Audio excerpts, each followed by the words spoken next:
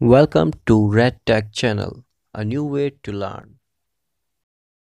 तो आज हम बेसिक फिज़िक्स में वेव के बारे में जानेंगे. Today's topic is wave wave क्या होती है? वेव एक करेक्टराइज्ड वेवलेंथ फ्रीक्वेंसी और वेलोसिटीज़ होती है. एग्जांपल के तौर पर हम ले सकते हैं water level in the ocean जो वेरिए वेरिएशन करता रहता है उसको हम वेव कहते हैं.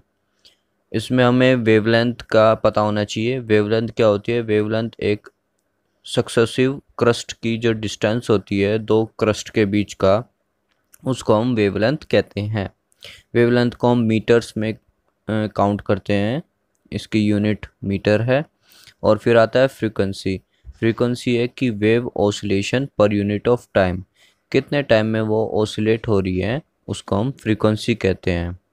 और फ्रीक्वेंसी को साइकिल पर सेकंड में काउंट किया जाता है और one cycle per second one hertz के इक्वल होता है। फिर आता है वेव पीरियड। जो एक वेव का पीरियड होता है, वो उसके वन बाय फ्रीक्वेंसी के इक्वल होता है। अगर कोई पीरियड ऑफ़ टाइम है कि किस टाइम में वो वेव आएगी तो उसको हम वन बाय फ्रीक्वेंसी में काउंट कर सकते हैं। फिर आता है वेलोसिटी की बात। तो वेलोसिटी होता है जो वेलोसिटी है वेव की, वो फ्रीक्वेंसी इंटू में वेवलेंथ वेवलेंथ और फ्रीक्वेंसी का प्रोडक्ट जो होता है, उसको हम वेलोसिटी ऑफ़ वेव कहते हैं।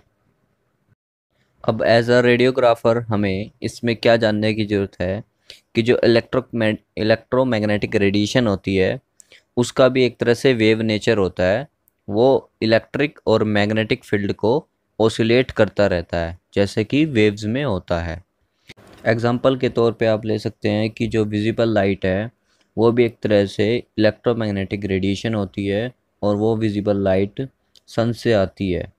जैसे एग्ज़ाम्पल के तौर पर लग सकते हैं कि जैसे सन से आई जो विजिबल लाइट है, वो भी एक पैकेट्स ऑफ़ एनर्जी में आती है, उसका नेचर भी वेव नेचर होता है।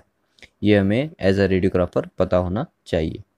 So that's all for this video do subscribe if you like and thanks for watching